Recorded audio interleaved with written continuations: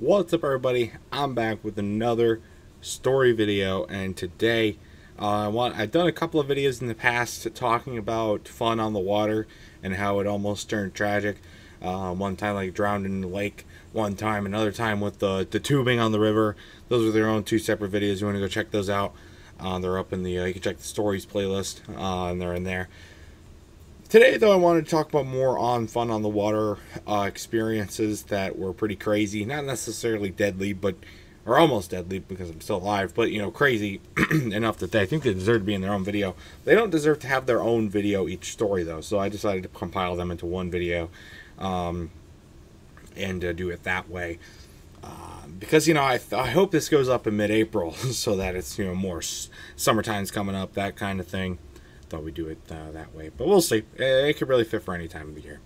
Um, so these really involve, there's like four or five stories on here, and they really involve like jet skiing and tubing across different lakes across the state of Michigan um, over the years. Uh, lots of different time frames it's happened. So uh, stay tuned because a lot of good stuff. Four or five stories. First one uh, I almost forgot about this when I was thinking about doing this video. I almost forgot to add this story to my list. Um, but it was when I was about six, I believe. And we were up at my one of my aunt and uncle's houses. they live on a small lake. When I mean small, like it, I don't even think it has a name. That's how small it is. But it is a lake. It's it's big enough to be a lake though. Um, and so, but they they have a jet ski. And so we were there on a summer day, and I uh, decided to go out with another family member and ride on the jet ski. And you know, it's a small lake, so and it was like one of my first times ever on a jet ski, but it was it was fun until until we were out in the middle of the lake, and we ran out of gas. I don't know how it wasn't calculated that we were almost out of gas. I, I don't know if jet skis have like a low fuel detection thing in them or not.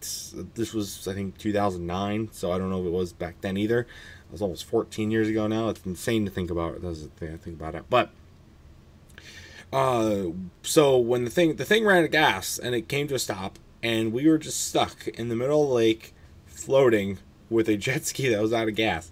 Um, quite honestly, I wasn't as worried as I probably should have been because you know again the lake is tiny.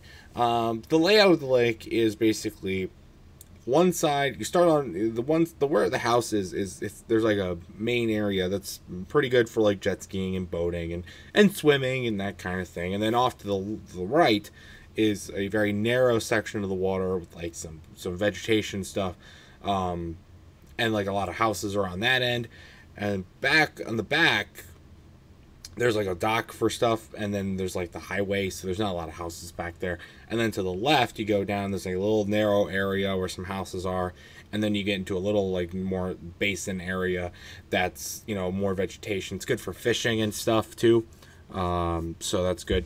But we were in like the main water area so I could, we could see the house and I wasn't too worried. Um, we could have probably even swam back. It would have been it would have been a good swim but the water wasn't too rough so uh, we, we could have done it. We had life jackets and stuff. But we decided we I mean, people caught on pretty quickly what had happened and we um, I think we flagged them down and I honestly don't remember how we got back to shore I'm obviously dead because I'm, I'm alive but and here talking about it here but I don't know exactly how it happened. I really don't. Uh, we might have, we probably got towed back by either like a paddle boat or another jet ski or somebody. I, I don't quite remember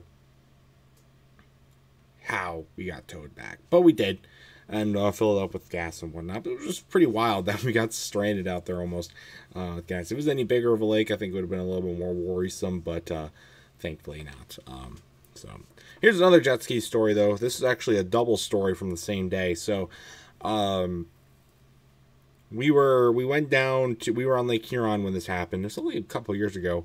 Um, we were we were at my another one of my aunt uncle's houses, or like their cottage or something, um, more on the eastern side of the state instead of more up in the center. But um, they had uh, she my aunt calls them wave runners. I don't know if you guys actually call them wave runners or not.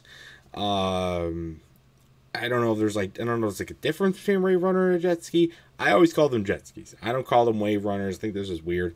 Um, let me know what your pronunciation is in the comment section down below. Is it, is it jet ski or wave runner for you? And there, is there a difference? I'd like to know. Is there a difference? Um, but she, um, but we got there and we planned on taking them out on the water. They lived near the water, and so that was pretty cool. And um, sadly, the weather wasn't that great for it. Uh, the weather cleared up later in the day after we were done, but uh, when we actually went out there and did it, it was uh, a little chilly. For June, it wasn't super cold, but you know, it was cloudy. There was rain in the forecast, you know, that kind of thing. It wasn't great, um, but we still did it anyways because why not? You know, what are you doing anyways?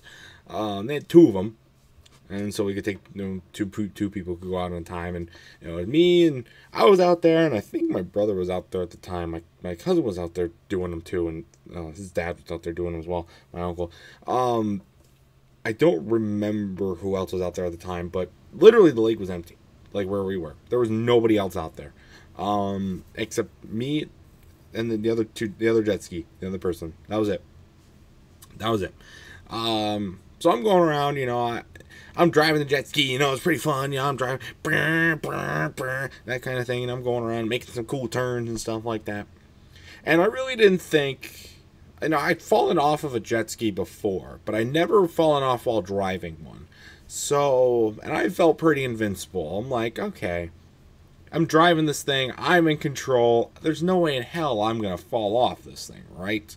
You know, it's pretty crazy. It's pretty safe to say I'm going to stay on this thing uh, you know, until I until I until I want to come back in. Uh, well, I was pretty close to shore, and I did. I basically did a whole 180 on a dime. Okay, I have never seen. I don't think I don't think anybody can ever make a more precise and accurate turn as big as I made.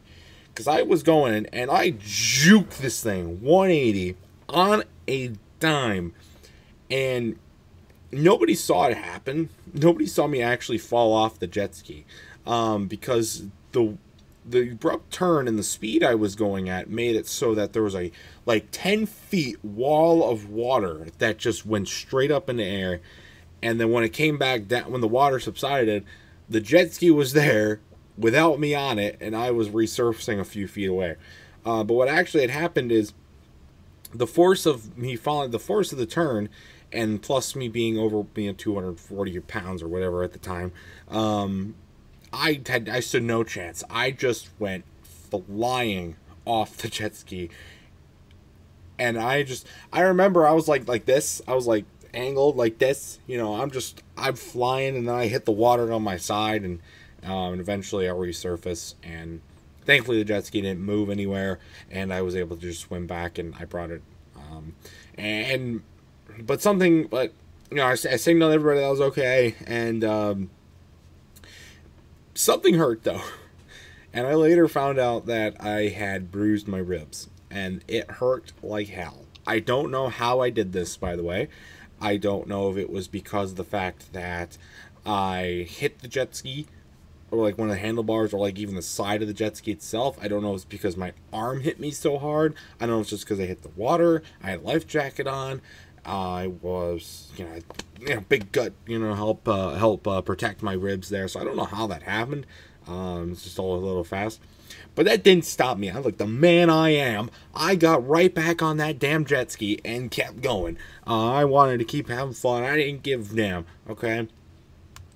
Um, so I go out and I'm riding around and I'm I'm taking it a little easier this time. I'm making bigger turns. I'm not going near, not little, little close to about as fast, but not quite as fast. But I'm a lot farther out this time, um, making turns and whatnot. And um, eventually, and I didn't think it could happen again, but it did. It, it happened again. Um, I don't know exactly. I think I made a turn or I gunned it too hard. I don't quite remember.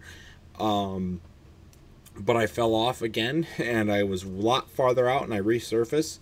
And I turn around to see where the jet ski is, and it's going. I almost shat myself. I thought this thing is going to. I thought the key was still in the uh, jet ski, and it was going to keep going all the way until it ran out of gas or hit something and we were going to have to chase it down with the other one. I was so embarrassed. Thankfully, though, the key was with me. The jet ski stopped after only a little bit, only a couple seconds of doing that. It stopped, and it but it, and I start swimming to it, you know. But it's so it's actually pretty far out there. So what happens? The my cousin picked me up in the other jet ski, brought me to the uh, brought me to the jet ski and transferred me over and brought it back in. I called it kaputs after that. I was done. Um, I was in pain. Uh, my arms were exhausted because you know I'd fallen off twice and pretty much probably dislocated a couple of bo- bones or whatever the fuck, and I was uh, I was done for the day after that, and uh, that hurt. That hurt. I think I bruised my rib. I didn't crack it or break it or anything because I could still move. I could still function, um, but it hurt, hurt, hurt. Uh, it lasted a good couple weeks um, before it fully was better, and yeah, that hurt a lot. So um, wild stories there, but thankfully the key was still in the uh, key was with me. Let's talk about a time the key did not stay with me when I fell off. This goes back to the first lake, um, when the with the out of gas incident, but a lot, but I think the same year as the Lake Huron stuff happened. Um, we were riding the, we were riding jet skis again, and I was with my cousin. She was driving, and she's this good amount younger than me. Uh, she was driving. I I but the key was attached to my life jacket, and so that way, you know, in case anything happened, I would stop if I fell off and and whatnot. Uh, just for safety reasons and whatnot. So we're driving. We're in the um, off to the left in the little swampy area. Uh, she is she is whipping this thing back and forth. Like I am holding onto the bar that you're supposed to use when you grab to get back on the jet ski. I'm holding on to that, like leaning back like this. I'm grabbing onto her with one thing, one hand, and I'm grabbing on the other like this. And she's she's whipping this thing around, like swaying back and forth, really big waves and whatnot. We go off into this little area with the some veg, the fish, good fishing area, vegetation and whatnot, and um, she cuts it hard. Uh, it's like with doing the thing on the 180. It didn't do a complete 180, but it was more like a 90 degree turn, and we we both went flying. There was no chance either of us were staying on that thing. We we were flying. Um, I resurface, and and she does too. I make sure she's okay real quick. But then I notice the jet ski. I could see the key in the jet ski, and I'm like, oh shit. Uh, the key somehow it wasn't clipped on right to my life jacket. So when I went flying, the thing unclipped from my life jacket was still in the jet ski. The bar was stuck at an angle, so the jet the like the, the handlebars were stuck at an angle, and the jet ski is just doing donuts like like this. How I don't know. Um so and she's freaking out so I, I i jump into action you know i'm going in there and um this thing's going around it's like 20 miles an hour it's going around in donuts like this um no showing no signs of stopping um i obviously wasn't gonna let her run out of gas again and then we'd have to swim all the way back but um she so i had to get on this thing i'm wrestling i'm bear hugging this thing trying to get on you know it actually I, I surf I got on that thing a little bit more easy than I thought I would. Uh, I kind of jumped on it like you would a motorcycle, and I yanked the key out, and uh, she gets back on, and she was freaking out. It was it was pretty crazy, uh, pretty pretty intense experience, but thankfully nobody got hurt. Uh, thankfully. Uh, the jet ski was not ruined.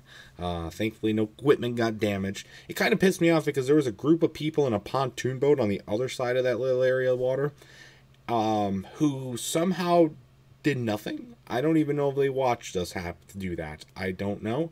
Um, so screw you guys if you guys are watching this. I don't even know who you are, but um, thanks for not even paying attention at all to what we were doing uh, when it could have been possibly a lot more dangerous than it was, but it wasn't. So that was a good, good thing. Um, and I think that's I think that's all my jet ski stories that are worth telling um, at this point in time. Um, I don't know, there's nothing really other crazy to talk about, but I do have one. I do have one good tubing story. I've been tubing quite a bit. we used to my other side of the family used to get a cottage up in uh, up north uh, for a week in the summer, and we'd go and we'd um, rent a boat, and they got some tubes, and we tube with the pontoon boat. Uh, so it wasn't as good as like a jet ski or like a speedboat or whatnot, but it did the trick. We had lots of fun doing it. Uh, we recently just stopped doing that because it got super expensive uh, to rent the cottage out, but. Uh, so we go tubing every year. Every year, um, we went tubing on the small lake a couple times as well, the little small tube. Um, but there's nothing really interesting to talk about from that. This is going to take place up at, um, uh, up north. It was a couple of years ago, about three years ago at the time this going up, um, that this happened, and we were on the water. And uh, me, my brother, and three of our cousins, we it was our last day of tubing before I had to leave because uh, I had to work because I had left. I left a day earlier than everybody else because I had to. I was starting out. I was starting out Kroger at the time, um, and I just gotten started like right before we left for the cottage, and so I had requested to take the whole week off, which you know you can't do. So I had to start working the day next. It's my first ever shift after my training, um, so I had to leave a little early, and so it was really our last day of tubing together. And the last adventure, you know, they decide, you know, was my and uncle were out there and driving the boat, and they said, well, how about you guys uh, uh get on the um, how about five of you get on? Big mistake. Can't really do that. Uh, it's a little too heavy and not enough room, and but we had a big couch too, and you know, it worked fine. I mean, you know, for a little fun, you know, why not? And um, we all got on, and we were, and the waves were pretty big that day too. Can all things considered, this lake's not as small as the first lake, but it's not huge either. Um, but so we were bouncing, so it doesn't get like huge waves, but this time like pretty big waves, in fact. And we were going and we were bouncing and stuff like that. I think I was laying in the front and some people were in the back to try and help balance out the weight a little bit better so it wouldn't like sink and we'd be able to get some more action. Um, but we were hitting these waves and um, it was pretty clear that somebody was going to fall very fast um, because once we were getting up to speed and stuff and we were hitting these waves and I remember it exactly in my mind we were cut we we we surfaced over a wave and we, it was a big wave, and we were, and there was another big wave coming behind it. we were going down into this crest, and I just, I, all I could, I just watched us descend slowly. It, it felt slow. It wasn't, you know, it was pretty fast, but it wasn't slowly. We hit the water, and the tube, and then all, apparently this is what happened because I was on the tube, obviously, so I didn't actually get to watch it happen, but apparently what happened is all five of us it like it felt like, like an explosion.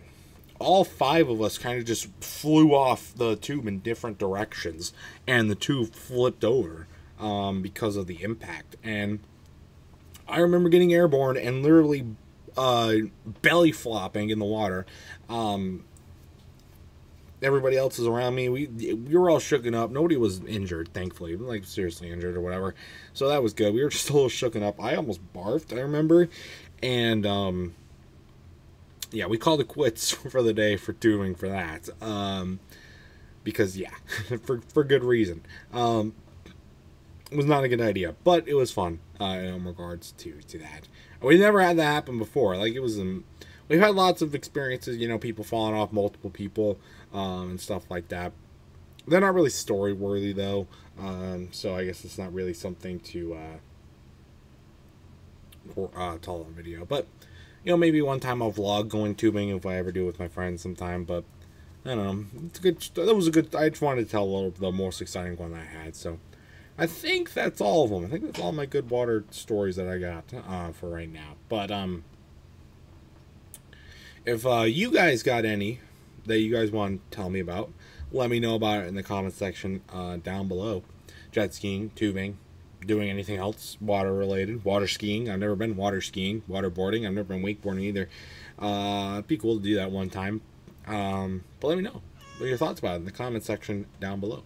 That's going to do for this story video, guys. Stay tuned for much more amazing content and other amazing stuff. Until next time, I will see you guys later. Goodbye.